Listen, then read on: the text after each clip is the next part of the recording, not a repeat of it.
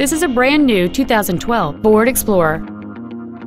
It has a 3.5-liter six-cylinder engine and a six-speed automatic transmission. Its top features include heater vents for rear-seated passengers, cruise control, full power accessories, a six-speaker audio system, a double wishbone independent front suspension, a four-wheel independent suspension, 17-inch wheels, a low tire pressure indicator, front and rear reading lights, and a rear spoiler. Please call today to reserve this vehicle for a test drive. Bob Thomas Ford is dedicated to doing everything possible to ensure that the experience you have purchasing your vehicle is as pleasant as possible. We are located at 2215 Dixwell Avenue in Hamden.